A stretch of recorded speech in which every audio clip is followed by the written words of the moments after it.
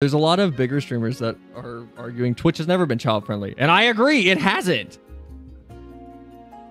So stop acting like it is, though, Twitch. Like, that's my response to that. Why is Twitch acting like it's a child friendly site if it's not? I want to talk about the uh, implied nudity meta on Twitch. I don't know what music I should have on for this, though. Do I just put this up on stream? I feel like I should just put it up on stream. Uh, Twitch has not solved the issue of it looking like a softcore porn site. I'm just not going to mince words with this. And I have no problem with there being adult oriented or even adult skewed because I think that's, that's the best way to describe it.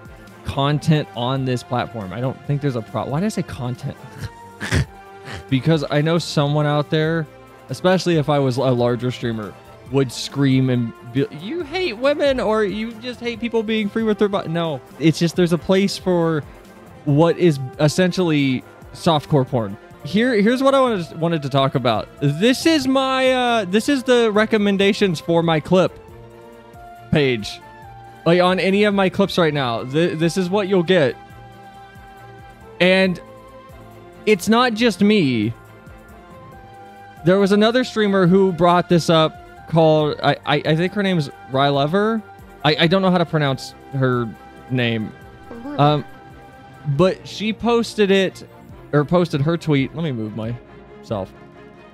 She posted her tweet at 9 or 10 a.m. We'll round up. It's 9:56, but we'll say 10 a.m. this morning. And oh, whoops.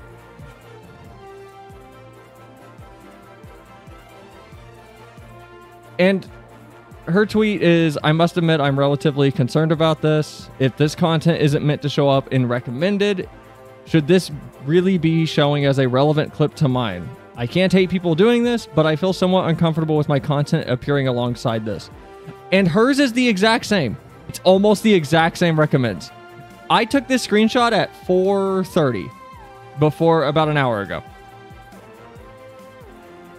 Which is which is insane. I, I don't I don't want to be a curmudgeon here. I'm all for just showing yourself off and making content out of it. But I don't like my content appearing alongside it when it's not my brand. I like I have the same opinion as Bry Lover I would assume, pretty closely anyway. I haven't fully percolated on my thoughts on the matter. It's just I I don't know if I feel right about Twitch essentially broadcasting softcore porn while also and here's the key part of where my problem comes in while also claiming that they've put blockers on it. This screenshot is from my bot account, which we talked about last week. Not bot, it's the account I use for my bot. The Kana bot you see in chat. Um, and you get the thumbnails until you click on it, and then you get the warning that says, hey, this content may not be appropriate for you to watch. So, what's the point of showing the thumbnail then? If we're gonna keep you from watching it in motion, why are we not doing the full step in just, hey, until you click OK to this, you won't see the content? And they did a weird half step forward with attempting to allow artistic nudity on the platform, and a bunch of people exploited that and ruined it for everybody. And they just walked it back instead of doing what I think they should have done, which is just add an NSFW section. Just commit to it because they don't want to interrupt the income flow that this definitely brings. Twitch is a business. Why would they want to interrupt an income flow? So don't take it off the platform.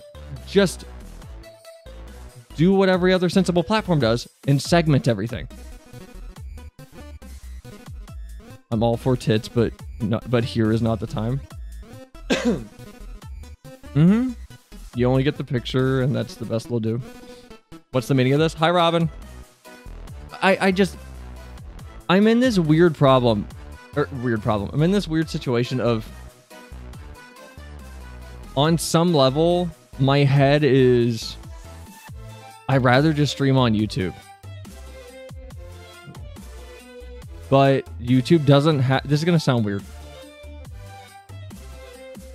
YouTube doesn't have the browsability that Twitch has. YouTube has the discoverability via your channel not being dead when you're not live, but it doesn't have it doesn't have the ability to browse, and it doesn't have the features and functionality that we use over here. But it's also I don't know how I would do FF content on YouTube. I don't I'm not confident on its viability on that platform. YouTube is such a weird place for FF14 because the FF crowd on YouTube loves edited content, but I don't think they're very big on VODs. I guess the best way to sum up my feelings on the Twitch issue is I'm not keen on the idea. It's not even that I'm uncomfortable. It's just I find it incessantly asinine with how half-step they are at having this platform being a being in a position of this and then you go to the next page and you're being advertised the new Pokemon game.